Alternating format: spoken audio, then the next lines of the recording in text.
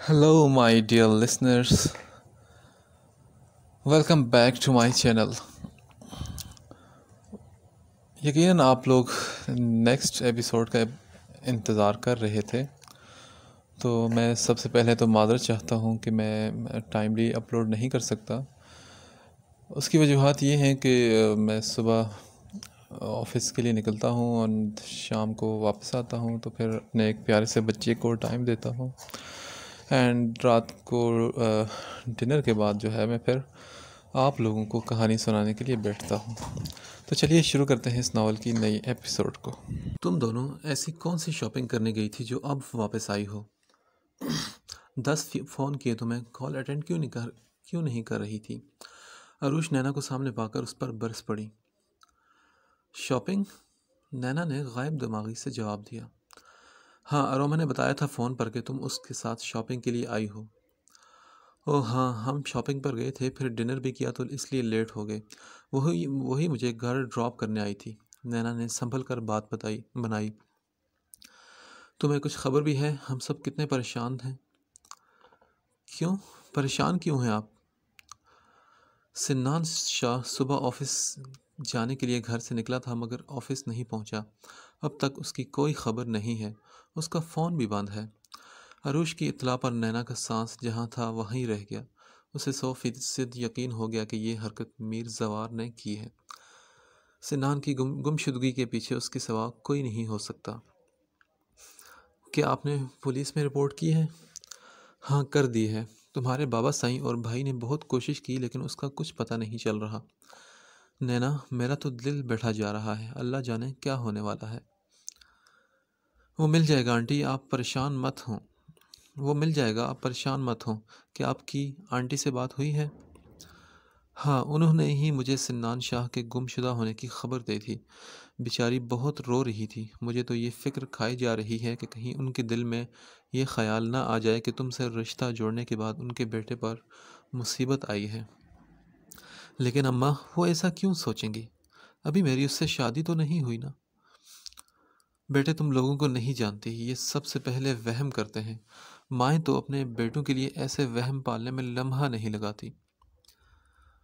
अम्मा, लोगों की इतनी परवाह नहीं करनी चाहिए, उनका काम ही बोलना होता है। उन्हें परवाह नहीं होती किसी के दिल पर क्या गुजरेगी, इसलिए हमें भी किसी की परवाह नहीं होनी चाहिए। उसे सिन्नान के लिए दुख हो रहा था। उसकी सिन्नान से वाबस्तगी ना सही, मगर वो बेकसूर था।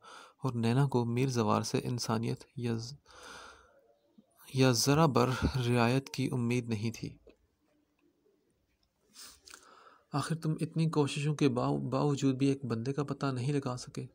इस कुर्सी पर क्या झक मारने बैठे हो? जहीम शाह गुस्से से बोला, शाह साहब, ऐसी बात नहीं है। अगवाकारों ने एहतियात बरतने में हद कर दी है। हम बिल्कुल बेबस हो चुके हैं। पुलिस के आला अहदे पर फाइज ऑफिसर इस वक्त शराजी हाउस के ड्राइंग रूम में बैठा शर्मिंदगी से बता रहा था। हम किसी भी तरह उन तक नहीं पहुँच पा रहे, लेकिन एक बात तो क्लियर हो चुकी है कि ये अगवा बरए तावान का केस नहीं है। इस अगवा के पीछे दुश्मनी हो सकती है। जाए वकुआ से गाड़ी और गाड़ी में मौजूद नकदी, मोबाइल फ़ोन, दीगर कीमती अशिया को हाथ भी नहीं लगाया गया।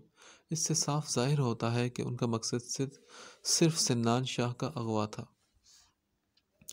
तो इसका मतलब है आप हाथ पर हाथ रख कर बैठे रहेंगे। इस बार मुआज़म शाह ने रोबदार आवाज़ में ऑफिसर से कहा, नहीं शाह जी, ऐसा नहीं है। हम अभी भी मायूस नहीं हैं। हमीद साहब के घर की निगरानी की जा रही है। अगर कोई मशकूक आदमी पाया गया या कोई छोटा सा भी क्ल्यू मिला तो हम सिन्नान शाह को बाजियाब कराने में ज़रा बराबर देर नहीं लगाएँगे। शाह, तुम ज़ाती तौर पर भी कोशिशें जारी रखो। मुझे उन लोगों का, कि, इन लोगों के तरीक़ाकार पर कोई भरोसा नहीं है। शादी की डेट से पहले हर हाल सिन्नान को यहाँ होना चाहिए। मुआज़म शाह ने ऑफिसर को नज़रअंदाज करते हुए जहीम शाह को हुक्म दिया। सिन्नान कुर्सी पर बंदा भूख और प्यास से निढाल नीम बेहोशी की हालत में था। मीर जवाल ने भारी हाथ से उसका गाल थपथपाया। सिन्नान ने ज़रा सी आँखें खोलकर उसे देखा, मगर फिर नकाहत से उसकी आँखें बंद होने लगी। साजिद ने मीर जवार के इशारे पर ठंडे पानी की बोतल उस पर ढेल दी। वो हड़बड़ाकर आँखें खोले, बल्कि झपक झपक कर मीर जवार को पहचानने की कोशिश करने लगा। शहजादे, मुझे पहचानने की कोशिश कर रहे हो? यार, अब ऐसी भी क्या नाराज़गी कि तुमने अपनी ये हालत बना ली है। तुम्हें इस हालत में देखकर मेरा दिल दुख से फटा जा रहा है। मीर जवार ने तासुफ से सर हिलाया, हालाँकि उसकी, उसी की इमां पर दो दिन से सिन्नान को भूखा रखा गया था। मुझसे तुम्हारी क्या दुश्मनी है और मुझे क्यों उठवाया है? मेरा तुम्हारा तो कोई वास्ता नहीं है। सिन्नान की आवाज़ कमज़ोर मगर लहजा खुरदरा था। अरे यार, बहुत गहरा ताल्लुक है, इसीलिए तो तुम्हें उठवाने की जहमत की है। तुम समझने की कोशिश तो करो। नहीं, मुझे कुछ समझ नहीं आ रहा। मुझे याद नहीं कि मेरी तुमसे बाकायदा भी कोई मुलाकात हुई हो। पहलियाँ मत बुझाओ साफ़ साफ़ बताओ मुझसे क्या चाहते हो। अगर तुम साफ़ साफ़ सुनना चाहते हो तो सुनो, तुमने मेरी माशूका, मेरी मनकूहा से रिश्ता जोड़ने की नामाकूल हरकत की है। अब तुम ही बताओ मैं अपनी मनकूहा से तुम्हारी शादी कैसे होने देता? तुम्हें मंजिल से गायब करना तो लाजमी था। यह क्या बकवास है? तुम झूठ बोल रहे हो। अगर वो तुम्हारी मनकूहा होती तो मुझसे शादी के लिए रजामंद क्यों होती? सिन्नान शाह मीरजवार के इंकशाफ पर चकरा गया था। वेल well, इन सवालों के जवाब तो वो ही तुम्हें दे सकती है मगर अफसोस कि अब तुम कभी उससे नहीं मिल सकोगे क्योंकि वो सिर्फ़ मेरी है। इसलिए तुम उस पर अपना कीमती वक्त ज़ाया मत करो। तुम्हें ज़िंदा नहीं छोड़ सकता। उसे मेरी मजबूरी समझकर माफ़ कर देना क्योंकि तुम्हारी मौत मेरी शादीशुदा ज़िंदगी के लिए बहुत ज़रूरी है। और इसमें कसूर तुम्हारा भी है। तुम्हें भी पूरा ज़माना छोड़कर शादी के लिए बस वही घर मिला था, जहाँ मेरी गोट फंसी थी। अब तो यह नामुमकिन है भाई। जिस चीज़ चीज़ पर मीर जवार की नज़र हो उसे कोई और ले, ले उड़े। वो चीज़ भी मेरी दस्तरस से ज़्यादा दूर तक नहीं रह सकती। नैना तो फिर जीती जागती हकीकत है भला इससे मैं किस तरह दस्त बरदार हो सकता हूँ? साजिद साई इन साहब को सुबह होने से कबल ठिकाने लगा दो। उसने सिगरेट का कश कश लेकर सफाकी से कहा और बाहर जाने के लिए कदम बढ़ाए। मीर जवार मेरी बात सुनो। मैंने तुम्हारा क्या बिगाड़ा है? खुदा के लिए मुझे छोड़ दो। मैं तुम दोनों के बीच हर किस नहीं आऊँगा। मैं इससे शादी इस शादी से इनकार कर दूँगा। मेरा यकीन करो, मैं खुद ये रिश्ता तोड़ दूँगा। तुम्हारा नाम भी सामने नहीं आएगा। प्लीज़ मुझे मत मारो। सिन्नान चीखता चिल्लाता रहा, मगर मीर जवार सुनी अनसुनी करता वहाँ से चला गया। नैना का नैना वार्ड का राउंड पूरा करने के बाद कोलीग को इन्फॉर्म करती हुई बाहर निकल आई थी। उसने हॉस्पिटल से निकलते ही मीर जवार को भी पहुँचने के लिए फ़ोन कर दिया था, मगर उसके बेडरूम में बैठे एक घंटा गुजरने के बावजूद भी मीर जवार नहीं आया था। वो दिल पर पत्थर रखे उसका इंतज़ार करती रही, क्योंकि मामला एक बेकसूर इंसान की ज़िंदगी और मौत का था। वो पूरी रात सिन्नान की फ़िक्र में सोई जागी, कैफियत के सबब सोफे पर बैठने बैठ बैठे बैठे सोने लगी। मीर जवार उजलत में ऑफ़िस से निकलकर मीर जवार मीर जवार पैलेस पहुँचा था। मुलाजिम ने घर दाखिल होते ही उसे नैना की मौजूदगी से आगाह किया। वो सीढ़ियाँ चढ़ते हुए नैना की आमद के बारे में सोच रहा था। अपने बेडरूम तक पहुंचकर उसने दरवाज़ा खोलते ही बुलंद आवाज़ में कहा, मुर्शद साईं, अभी तो सिर्फ़ निकाह हुआ है, रुखसती नहीं हुई।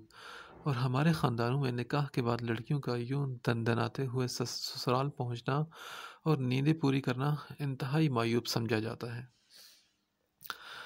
नैना उसकी आवाज़ पर उछल पड़ी फिर सीने पर हाथ रखे उसे घूरने लगी। उसकी नींद भग से उड़ गई थी और उसकी आँखों में सिर्फ़ खुमार बाकी रह गया था। नैना के खुमार आलूदा कातिल सर, सरापे पर मीर जवार के दिल की धड़कनें मचल गईं। माना कि मैं बहुत हैंडसम हूँ, चार्मिंग हूँ और तुम अपना दिल हार चुकी हो। अब मेरे दीदार बिना तुम्हारा गुजारा नहीं, मगर इसका हर किस ये मतलब नहीं कि मैं तुम्हें खुली छुट्टी दे दूँगा और अपनी रवायात को भूल जाऊँगा। प्लीज़ मीर, दूर रहकर बात करें। मैं यहाँ आपके लेक्चर सुनने नहीं आई। मेरी मजबूरी मुझे यहाँ खींच लाई है, वरना कभी इधर का रुख ना करती। जोजा मोहतरमा, लेक्चर्स तो तुम्हें सुनने ही पड़ेंगे, बल्कि अब तो सुनने की आदत डाल लो, तभी खुशगवार ज़िंदगी गुजार सकोगी।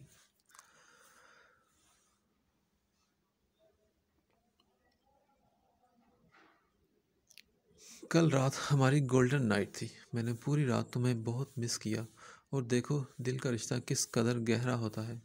सुबह होते ही तुम यहाँ दौड़ी चली आई। मीर जवार, मैं आपकी यहाँ फजूल बातें सुनने के मूड में नहीं आई। मुझे सिर्फ़ इतना बता दें, नैना की बात अभी अधूरी थी, तभी मीर जवार ने उसके होंठों पर पूरे हक से एक भरपूर मोहर सब करके उसे खामोश करवा दिया। गोल्डन नाइट तो नहीं मना सके। फिर क्या हुआ? हम गोल्डन डे तो सेलिब्रेट कर सकते हैं। वो कुछ देर बाद इंतहाई खम, खुमार आलूदा लहजे में बोला मीर जवार आपने सन्नान शाह को अगवा क्यों किया है? उसका क्या कसूर है? तुम क्या चाहती हो? उसे अपनी बीवी के बारे, वास्ते बारात लाने के लिए खुला छोड़ देता। प्लीज़ मीर, उसे छोड़ दे। सब उसकी वजह से बहुत परेशान हैं। हाँ लेकिन तुम्हें क्यों इसकी फ़िक्र हो रही है? उसके साथ भी कोई गेम खेल चुकी हो क्या? आप मुझे बात पे बात ताने नहीं दे सकते। मैं हज़ार बार कह चुकी हूँ कि वो सिर्फ़ मज़ाक था। नैना को उसकी बात सुनकर गुस्सा आ गया था। आप बस उसे छोड़ दें। मेरी गलती की सज़ा किसी बेकसूर को क्यों मिले? उसे छोड़ दूँ ताकि वो मेरे ख़िलाफ़ केस करता फिरे और मीडिया में बकवास करे, मेरा नाम ख़राब करे। फिर कल क्या करोगी जब वो बारात लिए तुम्हारे दरवाजे पर खड़ा होगा? सबको बताओगी कि तुम मेरी मनकूहा हो। मीर जवार उसके मुतालबे पर बढ़क उठा था। नैना, मुस्तरफ अंदाज में उंगलियाँ मरोड़ रही थी। उसने घबरा कर उसकी तरफ़ देखा। या फिर तुम्हारे निकाह के एन मौके पर मैं फिल्मी हीरो की तरह एंट्री मारूं और कहूँ कि ये शादी नहीं हो सकती। मीर जवार अब उठकर उसके पास चलाया और धुआँ उसके चेहरे पर बिखेर दिया। नहीं नैना नहीं, नैना उसके तंज को नहीं समझी और हाथों से धुएँ को मुंतशिर करते हुए घबरा कर बेख्तियार बोली, नैना, तुम्हें सिवाय अपने शोहर के पूरी दुनिया की फ़िक्र है। मैं सड़क पर आ जाऊँ, इससे तुम्हें फ़र्क नहीं पड़ेगा, मगर उस बेकसूर के हक के लिए तुम मुझसे लड़ने चली आई हो। ये मेरा काम है, इसका क्या करना है? तुम्हें इसके बारे में सोचने की ज़रूरत नहीं है। तुम सिर्फ़ अपने बारे में सोचो कि अब तुम्हारे साथ क्या होने वाला है। मीर जवार की सर्द सरगोशी पर उसकी सांस सीने में ही अटक गई। मीर जवार ने दो कदम का फासला मिटाकर उसे बाहू में समेट लिया। वो अपनी जीत का जश्न मनाने का इरादा रखता था और नैना में उसे इसके इरादे से बात रखने की सकत नहीं थी। उसकी आँखों से शफाफ मोती गिर कर तकिए में जज्ब होते रहे। वो बे आवाज़ रो रही थी, तभी मीर जवार ने उसकी आँखों में झाँक कर शरार से कहा तुम्हारी हर अदा से ज़ाहिर है कि तुम खुश नहीं हो, मगर इस वक्त मैं कितना खुश हूँ, इसके लिए इजहार के लिए कोई पैमाना ही नहीं बना। तुम मेरी खुशी की खातिर थोड़ी देर रोए बगैर नहीं रह सकती। मीर, आप उसे छोड़ दें, उसका कोई कसूर नहीं है। नैना, दोबारा किसी गैर मर्द के लिए तुम्हारे दिल में हमदर्दी जागी तो मैं तुम्हें उसी वक्त मार डालूँगा। अपनी ज़िंदगी चाहती हो तो ऐसे किसी भी ज़िक्र से गुरेज करना। नैना की नाजुक गर्दन मीर जवार की उंगलियों के शिकंजे में थी। अगर वो ज़रा सा दबाव बढ़ाता तो नैना की शरबती आँखें बाहर को उबल पड़ती। वो इसका किस्सा तमाम मैं उसका किस्सा तमाम करवा चुका हूँ। उसके घर वालों को लाश भी मिल चुकी है। घर जाके जी भर के उसकी मौत का मातम कर लेना मगर अब यहाँ तुम्हारे आँसू मुदा, मुदाखलत ना करें। मीर जवार का दिमाग घूमा और उसने नरमी से नैना की गर्दन सहलाते हुए बेरहमी से इनकशाफ किया। नैना आँखें फड़े मीर जवार के चेहरे को तक रही थी। आँसू का एक गोला उसके हलक, हल्क में अटकने लगा, मगर मीर जवार उसकी कैफियत की रता रत्ती भर भी परवाह नहीं कर रहा था। उसको नैना के यख पड़ते जिस्म और बेसुध होने का एहसास हुआ तो उसने बेख्तियार नैना का गाल थपथपाया मगर वो मारे खौफ के बेहोश हो चुकी थी। गुस्से से मीर जवार की मुठियाँ बीच गई। वो शोलाबार निगाहों से नैना को घूरता रहा, फिर सर झटक कर उठा। उसने लेडी डॉक्टर को बुलवाने के लिए साजिद का नंबर मिला मिला लिया था। दूसरी जानब हमीद शाह के घर सफ़े मातम बिछी हुई थी। उनकी बीवी और बेटियाँ सिन्नान की शाह से लिपट लिपट कर रो रही थी।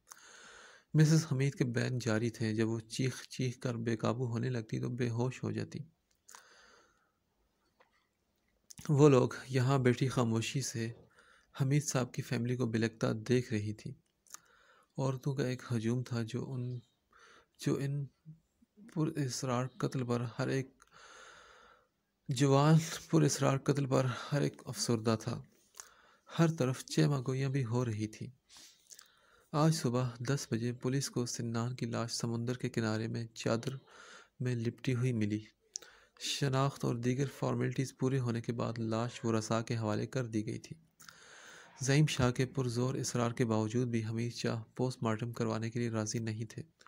उनका कहना था कि अब उनका बेटा वापस नहीं मिल सकता, इसलिए उसे मज़ीद तकलीफ़ ना पहुंचाई जाए। जहीम शाह गुस्से से दांत पीस कर रह गया। शराजी फैमिली नैना के अलावा इस वक्त से बमा अहलो आयाल वहाँ मौजूद थी। नैना मीर जवाल पैलेस से वापसी पर हमीद शाह के घर पहुँची। वो सर झुकाए कोने में बैठी हुई खामोशी से आँसू बहा रही थी।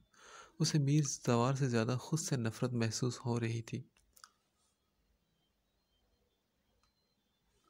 क्योंकि उसे लगता था कि उसकी एक नादानी के सबब सिन्नान शाह बेमौत मारा गया था। जनाजा भी उठ गया। शाम गहरी होगी, मगर मिसेस हमीद और उनकी फैमिली ने नैना के सर पर हाथ रखना भी ज़रूरी ख्याल नहीं किया। अरूश उन लोगों की नागवारी भाप गई थी और अब मज़ीद वहाँ ठहरना मुनासिब भी नहीं लग रहा था, इसलिए रानिया और रुखसाना बेगम को इशारा इशारा करके उठने के लिए कहा। नैना के लिए मिसेस हमीद का प्यार उनकी चाहत एक ही दिन में अजनबियत में बदल गई थी।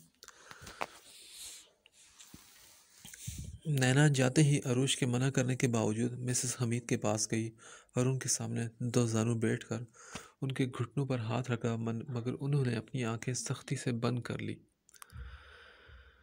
नैना को मिसेस हमीद के रवैये पर कोई अफसोस या हैरानगी नहीं हुई, जिस माँ का जवान बेटा शादी से फ़कत दो दिन पहले बेदर्दी से कत्ल कर दिया गया हो, ऐसी माँ का ऐसी लड़की और उसके घर वालों के लिए गम व गुस्सा किसी हद तक जायज़ भी था, मगर ये सोच गलत ज़रूर थी। क्योंकि मौत और ज़िंदगी तो अल्लाह के हाथ में है, फिर हम किसी की मौत का ज़िम्मेदार, खुशी या गमी को इंसानी ज़ात से मंसूब क्यों करते हैं?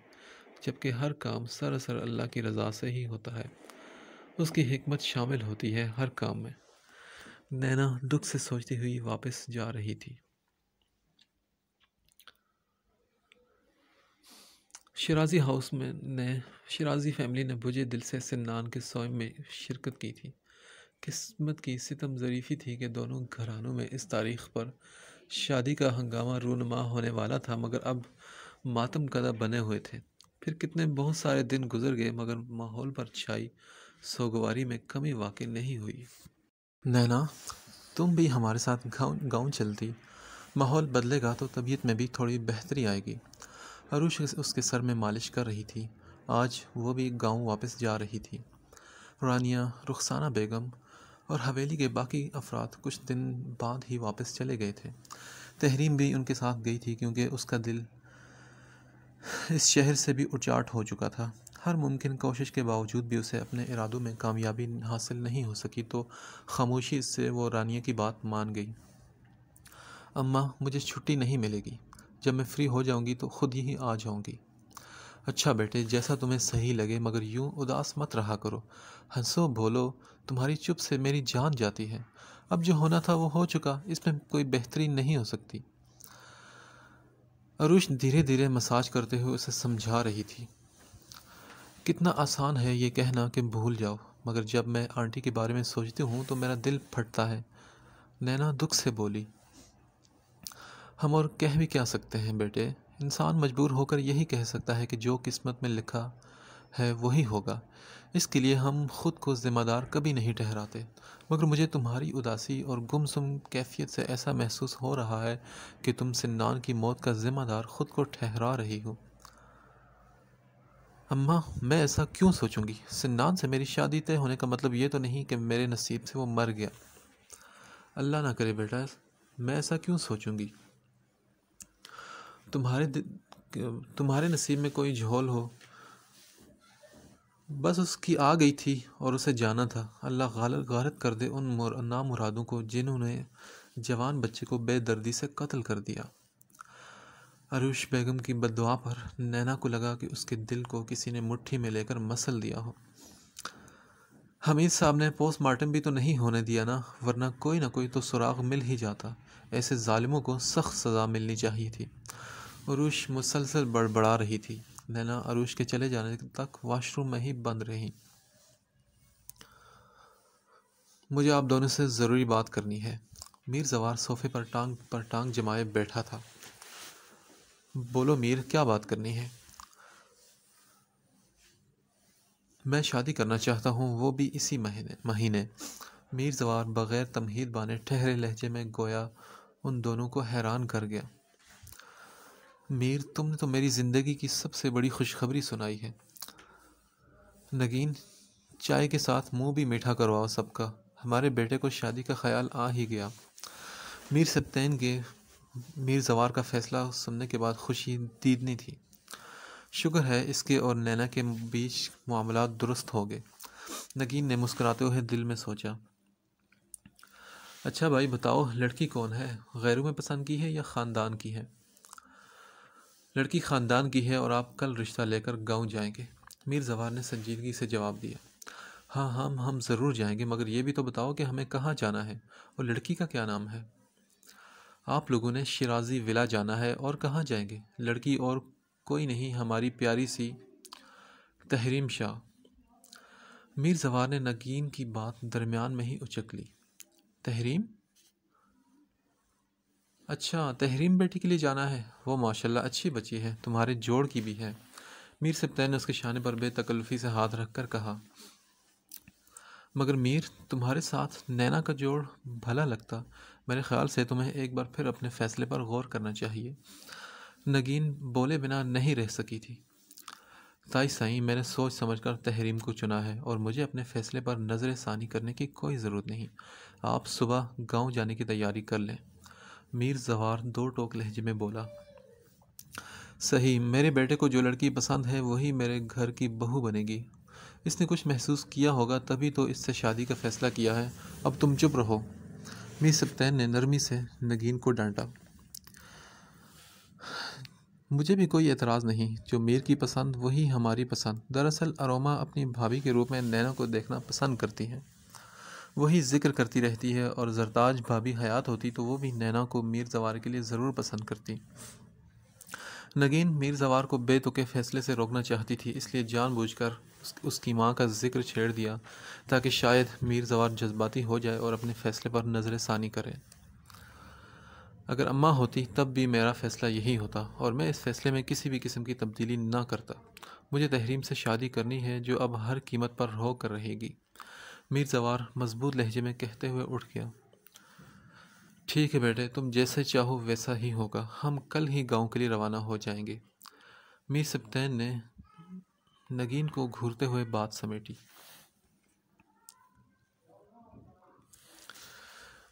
दूसरी जानब जहीम शाह सारे दिन की मसरूफियात से फरागत के बाद शावर लेकर आतिश तां के सामने बैठा। एक अरसे बाद अरोमा को फुर्सत से सोच रहा था। बदगुमानियाँ अब भी अपनी जगह मौजूद थी मगर उस दिन अरोमा का चौंका देने वाला रवैया हैरान कन था। उसे अरोमा का थप्पड़ याद आया। इस शिद्दत को महसूस करने के लिए उसने बेख्तियार अपना हा, दायां हाथ उठाकर अपने गाल पर लगाया। अरोमा ने जिस तरह का रद्द अमल ज़ाहिर किया, उससे तो यही लगता है कि उस रात जो मैंने देखा शायद वो सच ना हो।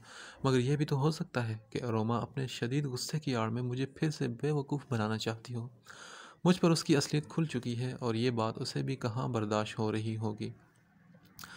वो कसूरवार हो या ना हो, मगर मेरे दिल से तो वो निकल चुकी है। मैं क्यों उसके बारे में सोच रहा हूँ?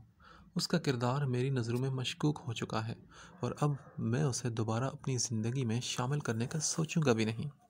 जहीम शाह ने सोचते हुए बेजारी से सर झटका और मौज़म शाह की आने वाली कॉल पिक की।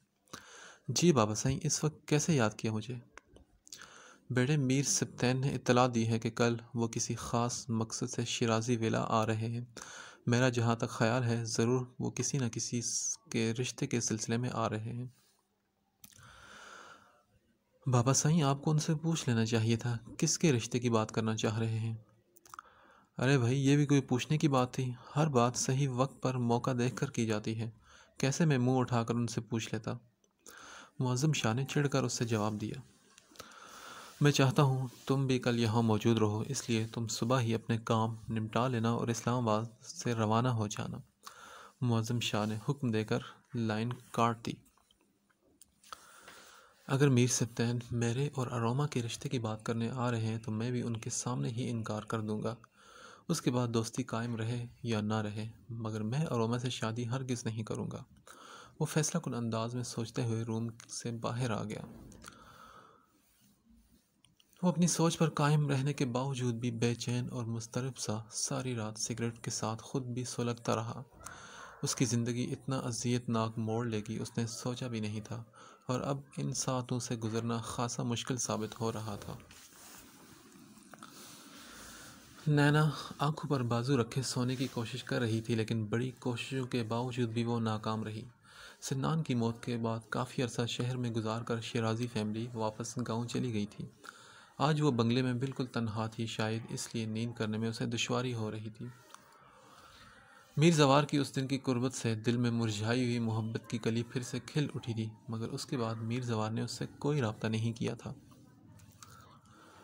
वो करवट लेट लिए लेटी हुई थी, तभी कोई दरवाज़ा खोले अंदर आ गया। नैना ने खफीफ सी आवाज़ में पूछा, कौन है? वो साइड टेबल की तरफ़ हाथ बढ़ाकर लैम्प चलाने की कोशिश कर रही थी, तभी उसका नर्म, मुलायम हाथ किसी भारी हाथ की गिरफ्त में आ गया। सिगरेट और परफ्यूम की मिली जुली मखसूस खुशबू उसकी नाक से टकरा कर उसे साकित कर गई। वो दम दम दम वो, दम सादे लेटी हुई थी। मीर जवान ने लैम्प ऑन किया। लैम्प की मदम रोशनी में उसका खूबसूरत चेहरा वाज हो गया। वो बेड पर नैना के बेहद करीब विराजमान हो चुका था। जवार आप? हाँ मेरा सोना साईं ग़ुलाम हाजिर है। आप यहाँ क्यों आए हैं? घर पर मेरे सिवा कोई और मौजूद नहीं है। आपको यहाँ नहीं आना चाहिए था, ज़ार।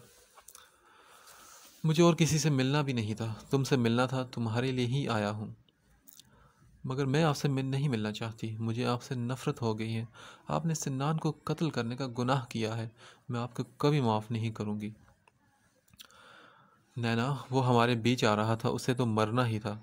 अब अगर तुमने उसका दोबारा ज़िक्र किया तो मेरे कोई और मेरे गज़ब का निशाना बन जाएगा। नहीं, अब आप किसी को नुकसान नहीं पहुंचाएँगे, वरना मैं अपनी जान दे दूँगी। मेरी मौजूदगी में तुम मुझ पर ही जान दोगी, और मैं तो चाहता हूँ कि तुम मुझ पर अपनी जान दो। और वैसे भी मैं अब तुम्हारे सवा किसी को नुकसान नहीं पहुँचाऊँगा। क्या मतलब है आपका? मतलब तुम बहुत जल्द समझ जाओगी, जब अपना नुकसान होता देखोगी। मीर घर में नौकर मौजूद हैं और गार्ड बाबा साईं को बता देंगे कि आप आए थे। फिर मैं उन्हें क्या जवाब दूँगी? प्लीज़, अब आप जाएँ यहाँ से। हाँ मेरी बीवी तो बहुत समझदार है। मुझे यकीन है कि तुम संभाल लोगी। अब आ गया हूँ तो खाली हाथ तो वापस नहीं जा सकता। मीर, आप समझते क्यों नहीं? रात के इस पहर मेरे कमरे में आपकी मौजूदगी मेरे लिए अजाब बन जाएगी। मैं किस किस को सफाइयाँ देती फिरूँगी? ओहो, तुम तो सफाइयाँ देने में माहिर हो, और ये मगर मश के आँसू तो किसी को भी गुमराह कर सकते हैं। वो उसकी रोती हुई आँखों में झाँक कर शोखी से बोला। फिर उसने रिस्ट वॉच उतारी और लैंप ऑफ़ कर दिया। नैना अब उस मुकम्मल उसके रहम करम पर थी। मीर जवार के वालहाना इजहार मोहब्बत ने जल्द ही नैना के दिलो दिमाग से हर तरह के खौफ का असर ज़ायल कर दिया। मीर जवार की दीवानगी नैना के हर ख्याल पर हावी होने लगी। जवार, आप मुझे छोड़कर जा रहे हैं? वो शीशे के सामने खड़ा बाल बना रहा था। नींद से जुगर जुगर करती साहिर आँखें बोझल सी हो रही थी। नैना उसकी पुछ से सर निकाल कर शीशे में देखते हुए उदासी से बोली, तुम कहो तो साथ ले चलता हूँ, वैसे मुझे तो कोई एतराज़ नहीं। नहीं, मेरा मतलब था हमें तरह नहीं मिलना चाहिए। आप बाबा साईं से अब बात करें। मैं कल बाबा साईं को रिश्ता ले, लेकर गाँव भेज रहा हूँ। क्या आप सच कह रहे हैं? हाँ मेरा सोना साईं, बिल्कुल सच। अब मुझे जाने दो। नैना सर हिलाकर पीछे हट गई। वो मुस्कुराती निगाहों से जाते हुए उसकी पुष्ट देख रही थी। मीर जवार ने कॉरिडोर के सिरे पर पहुंचकर पलटकर उसे देखा। नैना तुम हमेशा मेरे दिल में धड़कन बनकर रहोगी। तुम्हारी इस मुस्कुराहट पर मेरा सब कुछ कुर्बान है। माफ़ करना, मेरी फितरत में नहीं, वगरना, वरना तुम्हारी मुस्कुराती आँखों को आंसुओं की सौगात कभी ना देता। मीर जवार ने दुख से सोचा, फिर उसे अंदर जाने का इशारा करते हुए तेज़ रफ्तारी से सीढ़ियाँ उतरकर चला गया।